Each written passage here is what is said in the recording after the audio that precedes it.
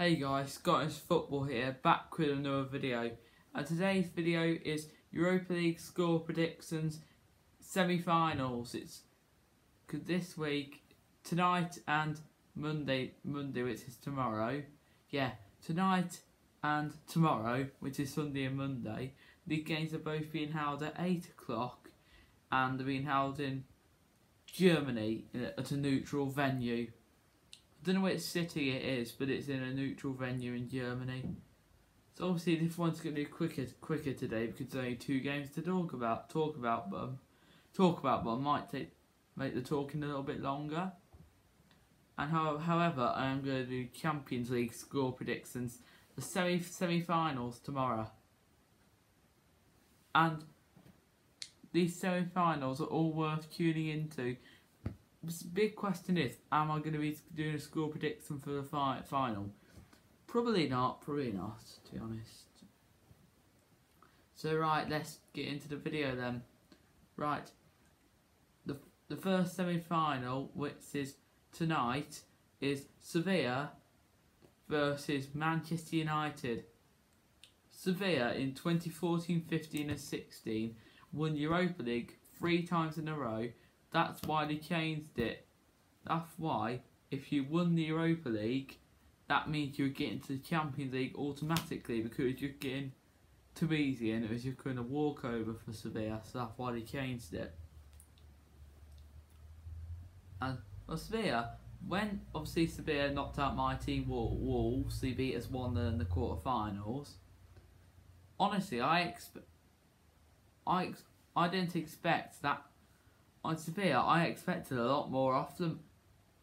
I thought that I thought they would play a little bit better. They played alright, they probably did dominate us in chances and they probably did dominate all, all game, but they didn't play as well, well as they know they can in that competition.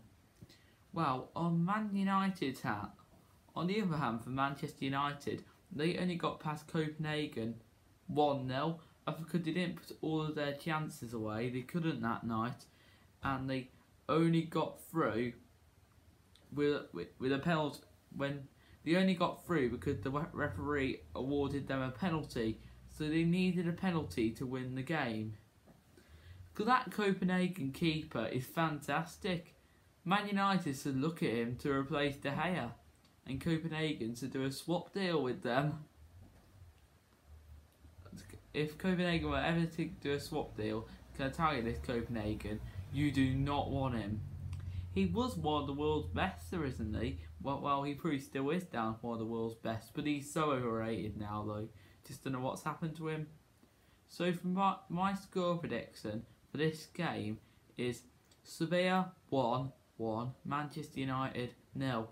I don't think this will be a very good game, really. I think it'll be quite a boring game with, with one goal to decide it personally, I think it'll be a bit like the Sevilla Man U game. Sevilla Wolves Sevilla game, except Man United will probably create more chances because they're used to the competition. Yeah, because I don't think Sevilla are playing as well as they can at the moment, and United just need penalties to win every single game. They get so lucky, Man U. Right, on to the next game, which is the second semi-final which is Inter Milan versus Shakhtar Donetsk. versus Inter Milan versus Shakhtar Donetsk. The Italians versus the Ukrainians. Hmm. Wow. Little bit. Inter Milan, they're probably one of the favourites to win the competition, competition along with Sevilla, Sevilla or Manchester United. Shakhtar are probably the the underdogs out of all of the, these teams and are the most unlikely, unlikely team to win it. But you cannot write off Shakhtar Donetsk for this game. And Inter Milan, they've got players like the Lukaku, Young, Christian Eriksen. They've got lots of players that play for Premier League clubs. I think there could be goals in this game. I think I am going to watch this one. And I think the score will be Inter Milan 3, Shakhtar Donetsk. Yeah, Inter Milan 3, Shakhtar Donetsk 2. I just think the Italians have just got that extra bit of quality other than. I think the I think the Italians have got that extra little bit of quality compared to the Ukrainians. That's why I'm going to go for Inter Milan to get get a three two win. But honestly, the strikers you'd all watch out for for Shakhtar Donetsk, player called Junior Mor- Moraes. He's a great player, he is. Let me tell you, one player that plays in the Premier League he used to play for Shakhtar Donetsk. Can you guess what it is? W- Willian, who, who plays for Chelsea, but he doesn't play for Chelsea now. He's moved to Arsenal on a free transfer, on a three-year contract. The Chelsea's are giving him a new free contract. He's not getting anything different at Arsenal compared to Chelsea. No, he's not. So right, we're at the end of the video now. So if you like the video, please remember to like, please remember to like the video and also do subscribe to the channel if you are new around here.